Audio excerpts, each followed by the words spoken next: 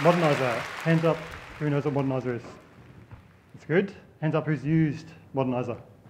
Even better. So, an elevator pitch. Uh, that's, that's Modernizr is a library. It has a bunch of hooks and methods to help you sort of build the next generation website. So it goes through and adds classes to the HTML element. Uh, it also has uh, DOM API, so you can access uh, methods through there and see if they're supported. So what do I know? Modernizr is awesome. But why? Well, uh, if we go to the source, modernizr.com, for example, that uh, uses modernizr.load, and that uh, is a wrapper for the Yep Nope script loader. I don't know if you've heard of that or not. And basically, you can run a test, uh, so font face, and it's not a touch device. Then you can load that script, so it's got Yep, and you got a callback, and it just loads typekit, and it's in a try catch, so if it fails, you don't notice any errors or anything. Uh, it also loads Google uh, jQuery from Google CDN, and if that fails, it checks the jQuery global object. If that fails, then it will fall back to a local copy. So it's got that covered. Uh, you can also test media queries. Uh, this tests against the current state of the window. So it's Modernizr MQ. Uh, that'll test if the current window is, is uh, no bigger than 400 pixels. And then you can do if else and work around that. And it uses matchMedia API, which is in the good browsers.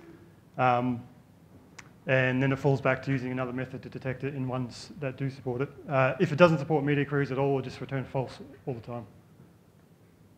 Uh, you can inject elements and associate some styles with it. Internally, this is how the generated content test works. Uh, so basically, you've got modernizr test styles. Uh, you've got the CSS class you want to do, and you have to target the modernizr ID because it inserts a div with the ID modernizr on it. And then you've got the function to run to do the test. So it passes in the node that is injected, and it's the rule, and you can work with that. Uh, it also exposes prefixes. So uh, if you want to work out what current prefix you need for a property in, in the current environment you're in, you can do modernizr.prefixed, and you can pass in border radius, for example. So if you're in Firefox 3.6, that'll return a prefixed value. If you're in Firefox 4, just have no prefix.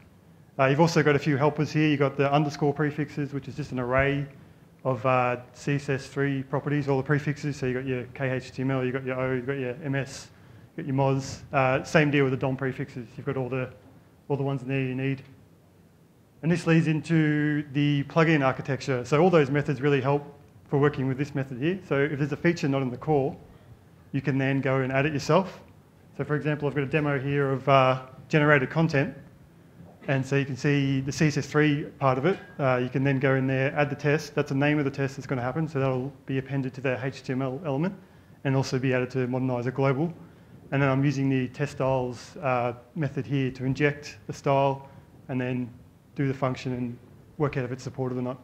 Uh, if you go on the GitHub repo, there's a feature-detects folder, and that's got a whole bunch of uh, plugins that will uh, be better integrated in 2.1 release. And that's what I know.